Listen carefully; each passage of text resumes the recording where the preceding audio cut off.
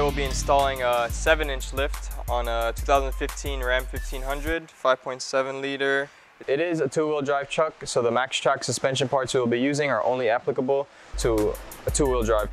I just started by measuring the ride height, the current ride height of the vehicle, just so that when I do the alignment, uh, the change in specs, the difference when it's lifted, it'll be easier for me to input when I do the alignment.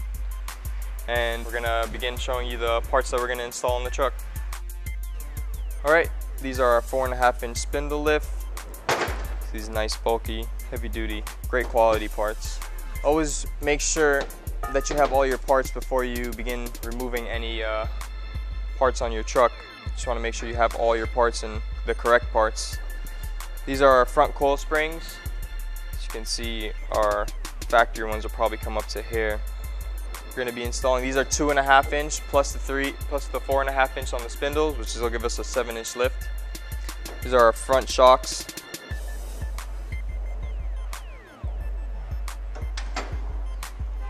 Rear coil springs.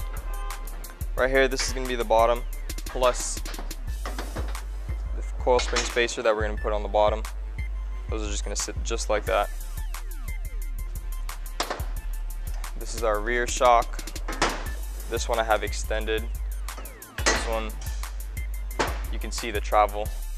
Since we'll be lifting the truck, we have to extend the, uh, or basically lower the center bearing on the drive shaft because we need to get a correct angle since we're raising it, you don't want to have a tight angle at the center of the drive shaft.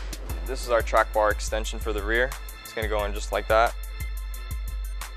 Since we'll be raising the truck, obviously, most of the components that are on the truck, we're to have to extend them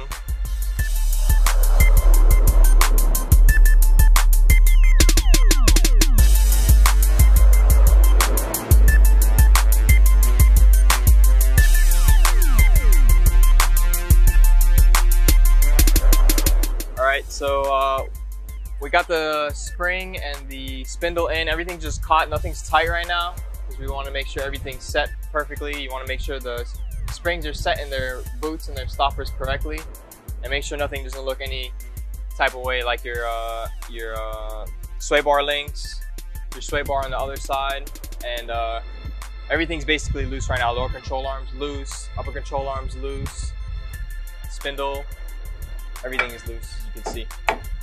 So we got this in. Start tightening everything up. Uh, make sure you torque to manufacturer specs. I'm just gonna catch everything and then final uh, assembly will be retorquing everything.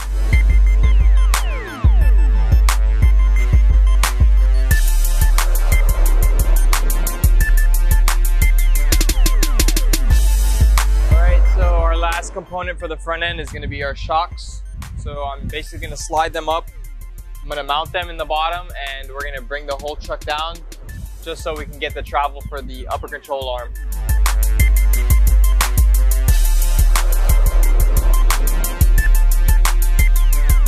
All right, so uh, we're gonna begin the rear disassembly on the 15 Ram. It's rear end is pretty simple. You're basically gonna loosen the lower control arms. You're gonna lower the rear end loosen the shock. You're gonna remove this since we're not using this anymore. We're gonna have to remove the fender liner just to access the bolts up top for the rear shock. Then we're basically gonna put our pole jacks, support the rear end, lower it down. We're gonna disconnect our sway bar links from the top. We're gonna disconnect our track bar. And right here is where we're gonna put our track bar extension. That big bracket that I showed you guys earlier, it's gonna go here. It's basically just gonna level this out because basically the rear end is gonna be lower than what it is right now.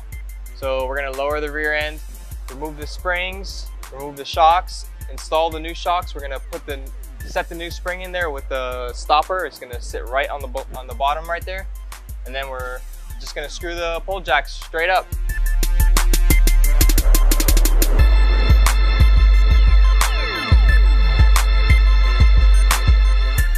So we're uh, pulling down the fender liner to get access to the rear shocks and lower control arms in the rear. This one's much easier than doing the front. We're basically gonna remove the shocks on both sides. We're gonna support the rear axle and loosen the control arms. You don't need to remove any bolts. You're literally just gonna loosen and lower and remove the track bar so we could add the track bar bracket.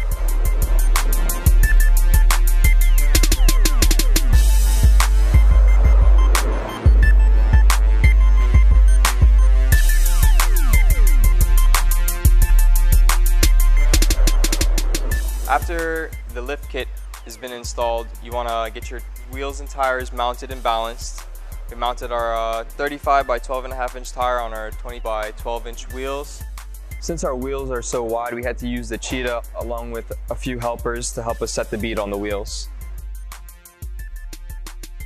After you mount your wheels and tires, you're going to want to perform an alignment because when you lift and raise a vehicle, the camber and caster specs will be out of line, so will the toe. You're want to make sure you adjust that as well as adjusting your headlights to lower them because they're to be shooting pretty high right now. So we're to need to adjust the headlights aim a little downward so that the customer will be able to see at night.